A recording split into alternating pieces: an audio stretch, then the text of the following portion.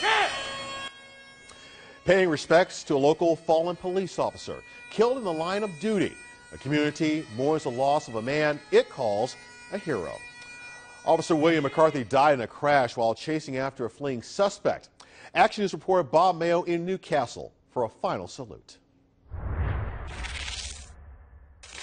As moving and as impressive as this long procession in honor of Officer McCarthy was, even more so were the words of eulogy spoken inside the church at the funeral mass. Silent flashing lights, long lines of police cars from across three states, lines of officers here to mourn, many more than the church could hold. It's a duty and an honor for officers to come and show our respect for this.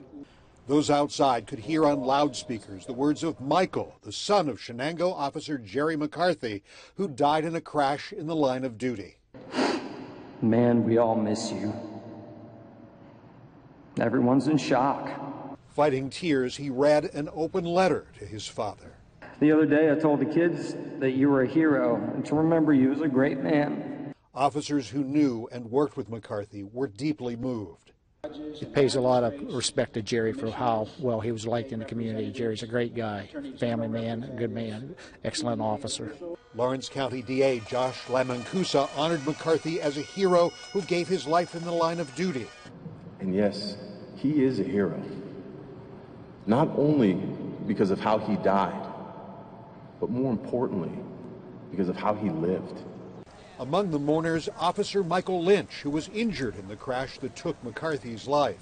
The long procession passed Shenango's police department on its way to McCarthy's burial near Grove City. By direction of the governor, flags have been flying at half staff in memory of Officer McCarthy. In Lawrence County, Bob Mayo, Channel 4 Action News. And tonight we are getting a first look at the mugshot of the woman police say caused the crash that killed Officer McCarthy. Kylie Barletto, who was taken to an Ohio hospital, will be in an Ohio courtroom tomorrow to face charges.